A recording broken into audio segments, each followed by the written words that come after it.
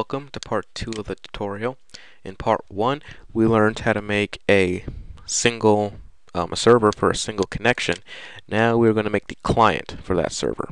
Go to File, Add, New Project, and name it Client. Same thing from last time, using system.net using system.net.sockets. Now,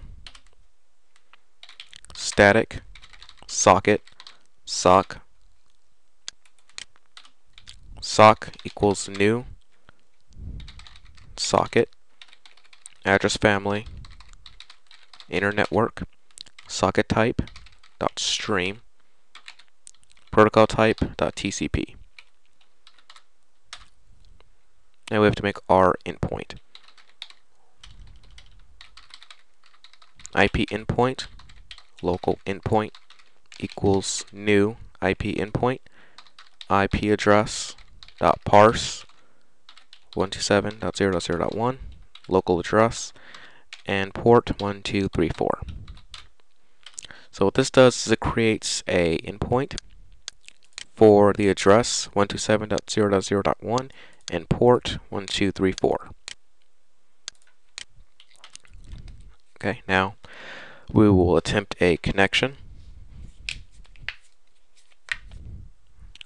I'm going to use a try catch statement. sock.connect local endpoint. You can use an IP endpoint or you can just use the actual data here depending on what you want to do. Now it's going to attempt a connection and if the connection fails it'll catch it here without the entire application crashing and let's write console.write unable to connect to remote endpoint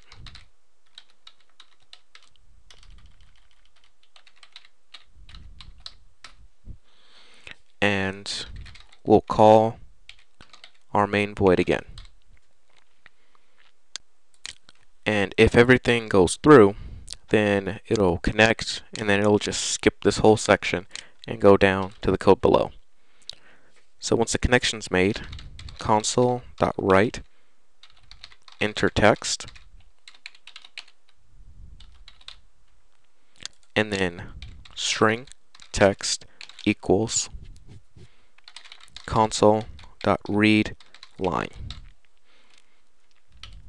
Byte data equals encoding.ascii.get bytes text.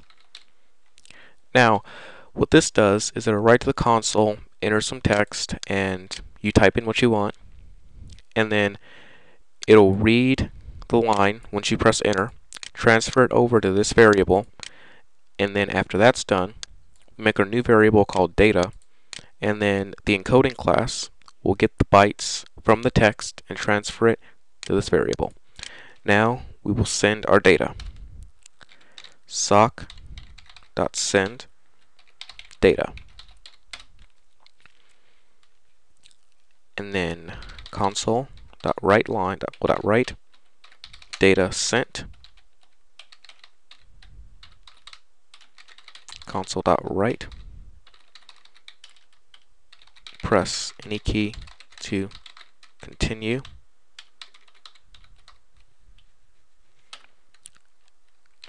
console.read sock.close. Okay, now quick summary.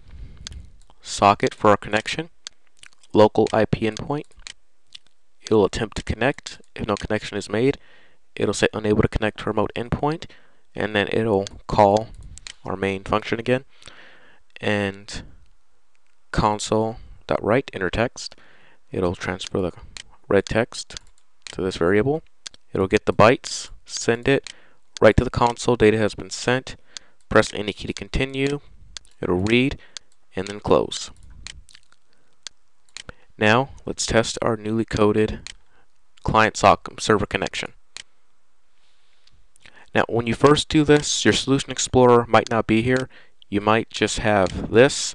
So click Solution Explorer up here. This will pop up. Right click on the client, debug, start new instance. Now, as you can see, uh, okay, as you can see, a connection has been made. So it's asking me to enter text. And as you can see, the data was sent. The server received it. Now, press enter to close, enter to close, and that is your simple client server connection. Next tutorial, I will show you how to handle multiple connections.